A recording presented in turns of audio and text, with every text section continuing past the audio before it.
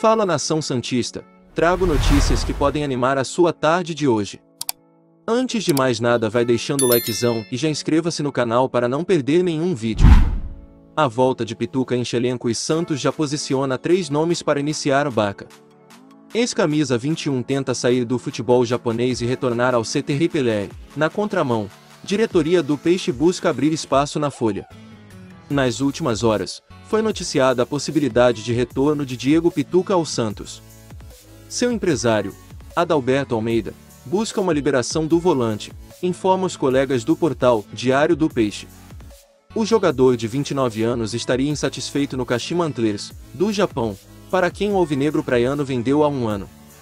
Nos bastidores, Pituca iniciou as conversas com Edu Dracena, que deixou o comando do departamento de futebol na semana passada.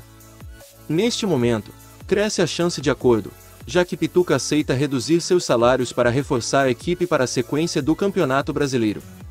O ex-camisa 21 certamente, em caso de negócio fechado, chegaria para ser titular absoluto no meio de campo, junto do uruguaio Rodrigo Fernandes e de Vinícius Anocelo.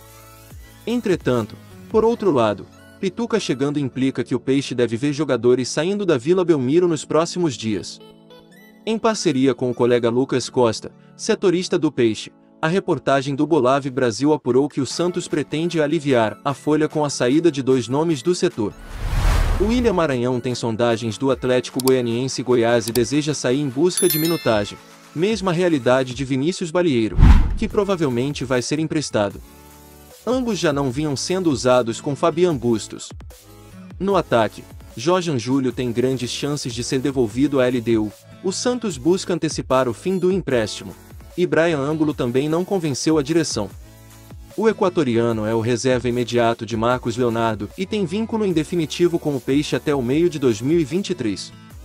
Por enquanto, segue nos planos, mas em caso de oferta, uma saída deve ser discutida. O que você achou da possível volta do Pituca ao time do Santos, e os nomes citados para a sair? Deixe-as nos comentários. Valeu falou!